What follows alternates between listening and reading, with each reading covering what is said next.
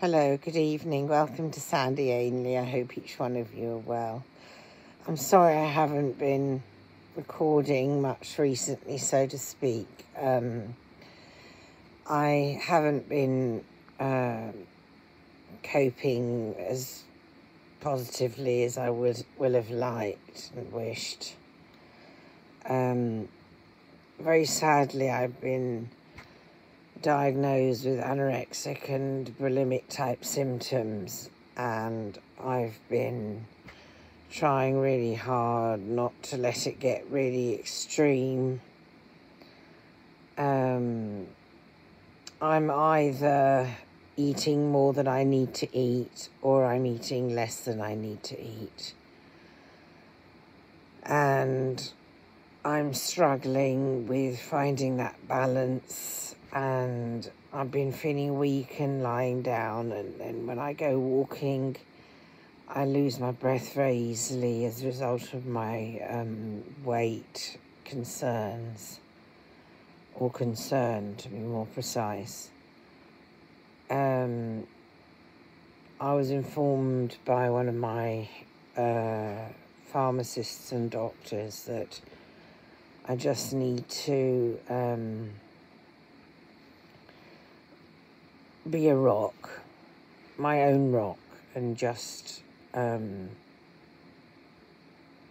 say no to myself when I feel like binging on sweets, and say yes to myself when I need a good, wholesome meal. And um, I'm the only person who can do anything about it, I don't mind saying.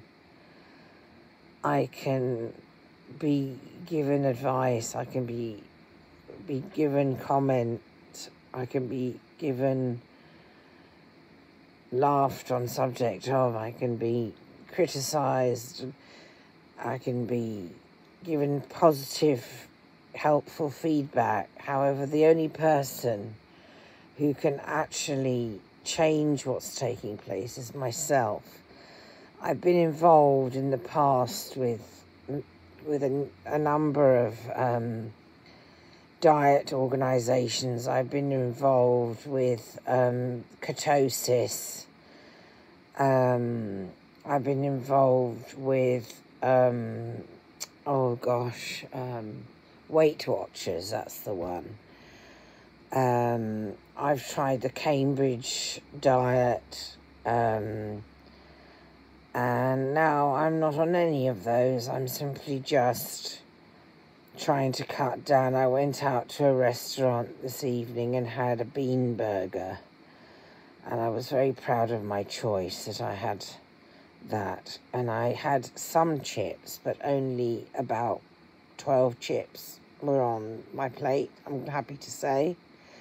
And I ate those as a result of the fact that I needed some dinner and I was very pleased that they'd given me such a little portion. Um, and had they given me more, I would have had a challenge there, and I was lucky this evening. However, the real luck needs to come from me, doesn't it? Don't you think so? I, think that um, I'm quite happy just to ask you that at the same time as me making a statement, because each to one's own, of course. Um, I've been offered by my family to uh, be involved in with another diet company, but I, I really do believe that the discipline needs to come from me. I've been I've seen a dietitian in the past and um, that didn't seem to do much for me. In fact, what took place was um, I um, I um, uh, was admittedly porcupying and I ate differently to what I wrote on my food diary. And then I acknowledged it to the farm, the um, um, dietitian who chose to, instead of keeping me on and thinking, well, well done, Sandy, for having come clean with me, so to speak, the lady dismissed my, me, and and and and I I I think that that personally, um, well, I've learned from it not to do that, number one. And if I do it, not to say anything, be a bit more discreet. And, and I've also learned that, um, you know, if I'm going to do that, I'm best off doing it without being involved with a dietitian, stroke, diet company, etc.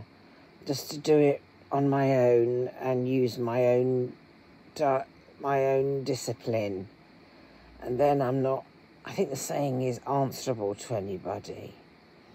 So even though I've been offered, I've been also bribed by a friend that each stone I lose that I'm going to be given some money and I mean I know my friend means well. However I really do mean this. I just need to uh, control and um, use my tough nature. Um, although I'm also very sensitive. I'm an interesting mixture of both I don't mind having said that just to use my strong side in my character to be my own rock and be my own um, my own um, yes that's a good word rock exactly that. And um, I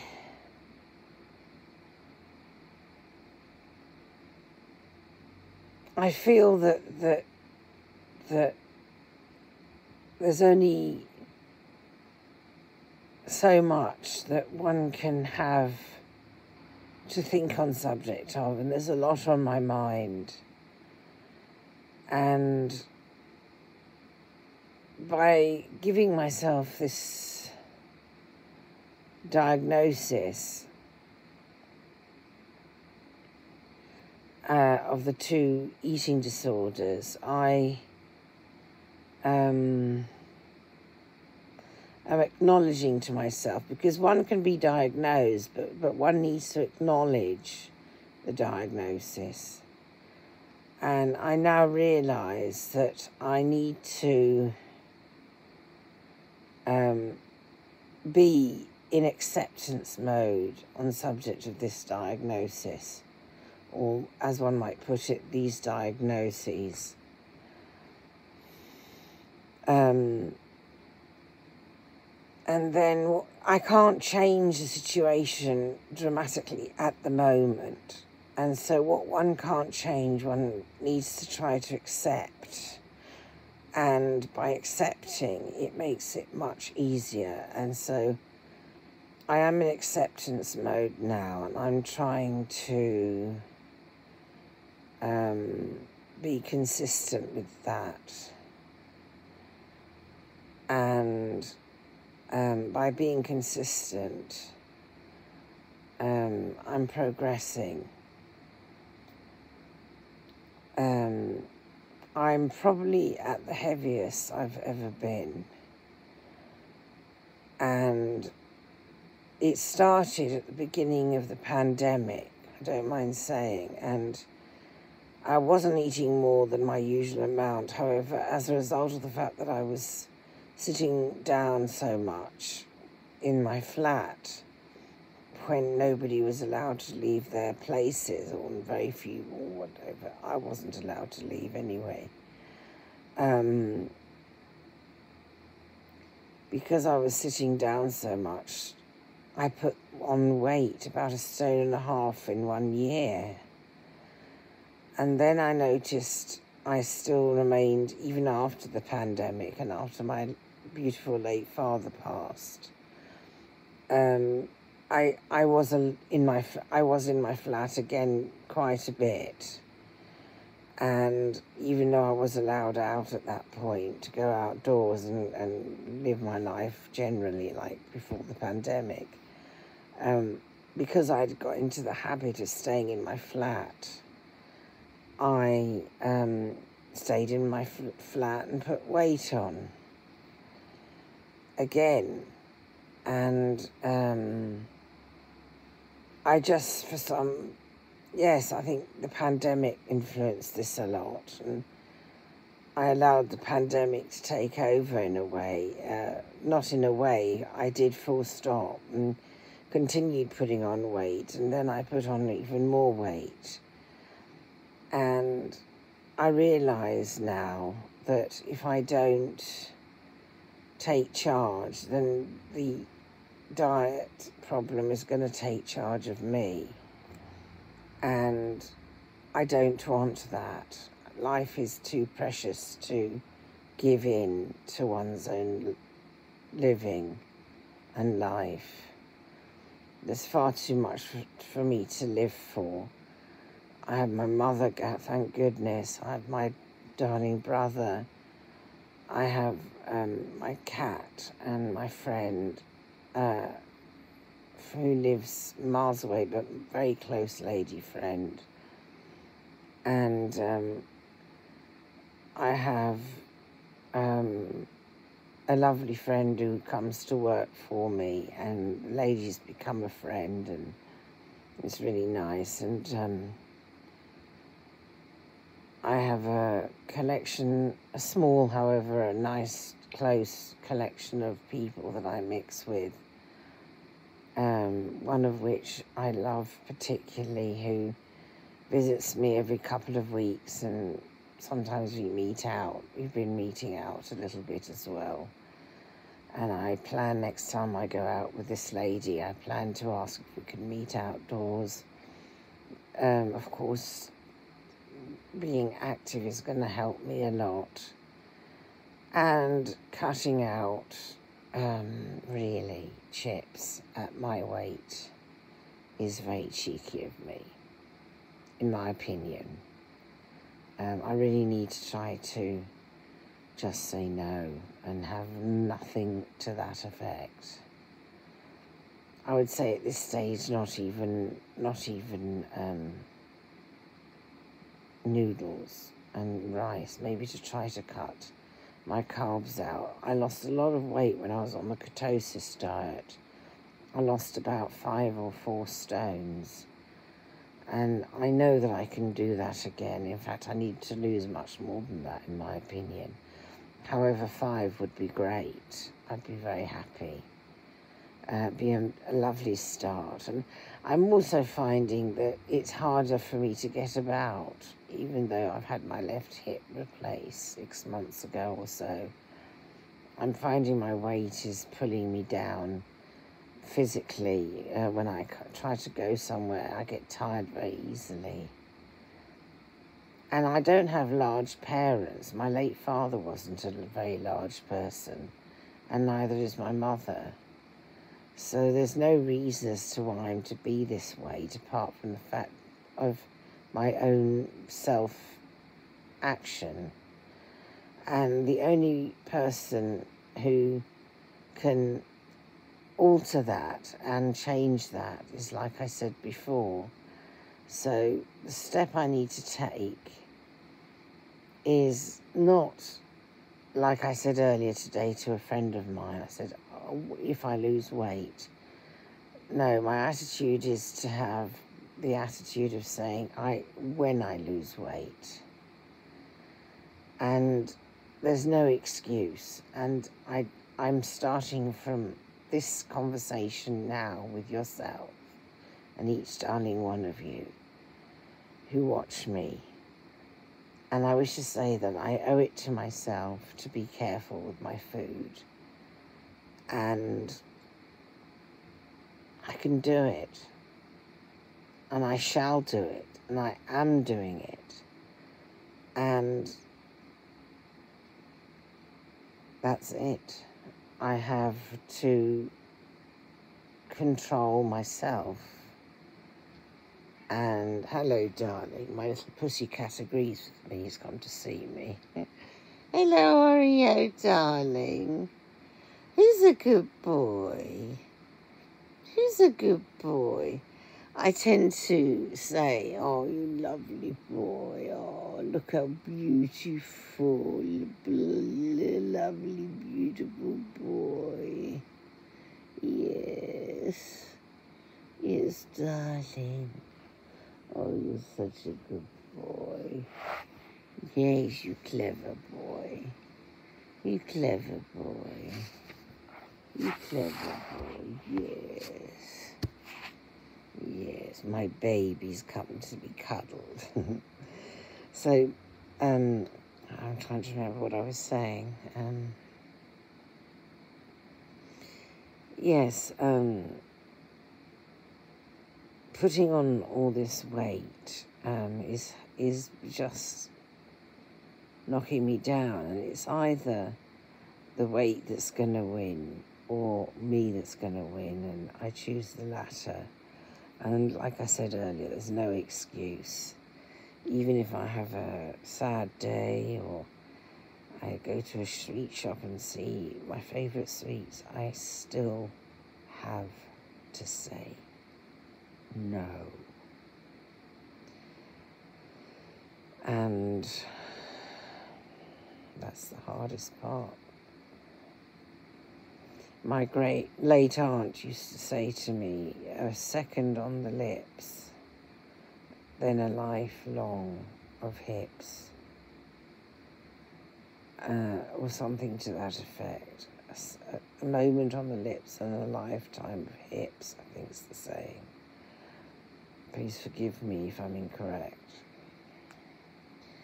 So, it's true you know, one has something that one fancies and and then one puts on a couple of pounds and then the next type of time another couple of pounds. It's very easily done. Certainly in my case, I love my food. And my food is uh, not the enemy. It's me who's my own enemy. And oh gosh, I just to open my eyes and say, I'm responsible and I want to change. I mean, my face isn't particularly big. I've got a double chin. However, apart from that, I think my face is okay weight-wise. My arms aren't too bad and my chest isn't too bad. I think where my um, body is larger is around the waist uh, as a result of my poor diet that I've been having of late a bit, so to speak, and my thighs my bottom. Um, but I've lost it so many times and it's been hard for me. My life has been up and down all the time with my weight. I was even a chubby baby, you know. My mum said I loved my food as a baby. I'm sure I did. So, okay, Sandy, there's no excuse. And to any of you out there who's struggling with, with your diet, please be strong. And please don't give yourself any false excuse. There is no excuse. Whatever you've been through in your life, there's no excuse. You owe it to yourself to do something about it. And each person is a separate element, I don't mind saying. Some one, person may find the diet on the Weight Watchers scheme helpful. One person may find the ketosis diet helpful. By the way, if you didn't know, the, the, the spelling is K E T O S I S and Cambridge, like Cambridge as in University Cambridge. And then there's Weight Watchers, which is Weight Watchers. And um, so if any of you, um, maybe one person will be more suitable for the, to try the Cambridge diet and, and la-di-da, so on and so forth. And um, of course, each one of us is different, a separate element. And for me, I've decided for the moment anyway that I'd like to try to challenge myself. Um, I've been thinking on the subject and I'd rather spend the money on healthy food than spend the money on the at the moment anyway on one of the diet schemes. So I'm getting rather tired now Uh, my eyes are starting to close, so um, I'm gonna bid you a loving good night and um, please take care of yourself and please take care of one another and um, please take it on board that you can lose weight and you shall lose weight. And this is of course if it's necessary and you have no excuse I repeat you have no excuse I thank you so much. Lots of love. Bye bye.